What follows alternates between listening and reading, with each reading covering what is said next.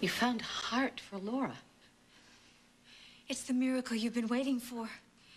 Uh, I know that it's very hard to believe. I swear, if you are messing with me.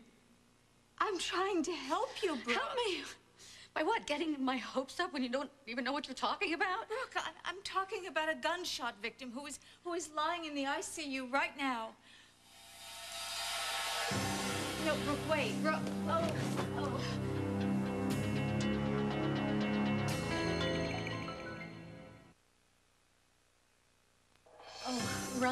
I'm... I'm sorry. Brooke. Things are just jumbled up right now. There's some good things and some... some terrible things. I think that my daughter might have a chance. Brooke. They brought somebody into the ICU with a gunshot wound and... And if they don't survive... I know, I know, it's a terrible thing to hope for. But if I can talk to the family and if it's a match and if this person doesn't survive, then, then Laura can have a chance to have a new heart.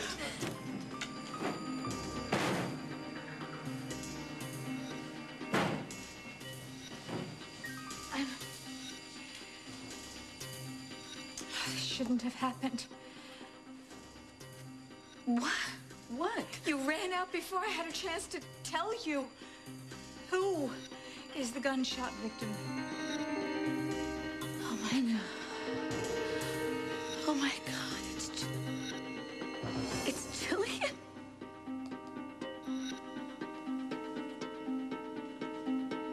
Oh.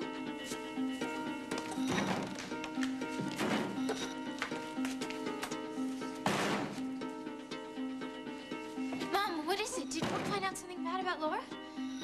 No. Then what's going on? Mom, you look like you're gonna faint or something.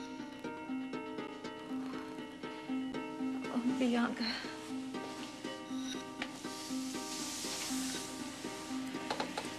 Mom, what is it?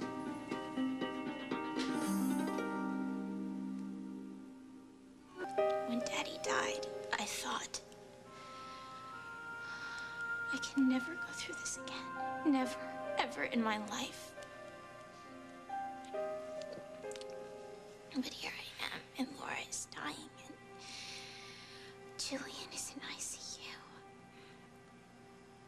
And it feels like more than you can bear, doesn't it?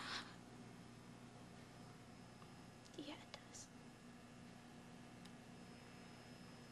I wish you didn't have to do this. I wish with all my heart. I wish that there was something I could do to save you, honey. But that's not the way it works. I mean, either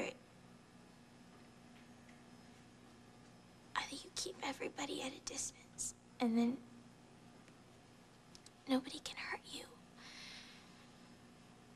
and then you're all alone, or you let people into your heart. And then you lose them, you turn around and they're gone. Oh, you make that sound very terrible the way you say that. But I think you're leaving out the crucial part. What? What happens when you let yourself love someone? You're right. It makes you vulnerable. But then you gain a strength that you never had on your own. And that's what gets you through the terrible times. Loving. Being loved. But some people never find that. Somebody who'll love them.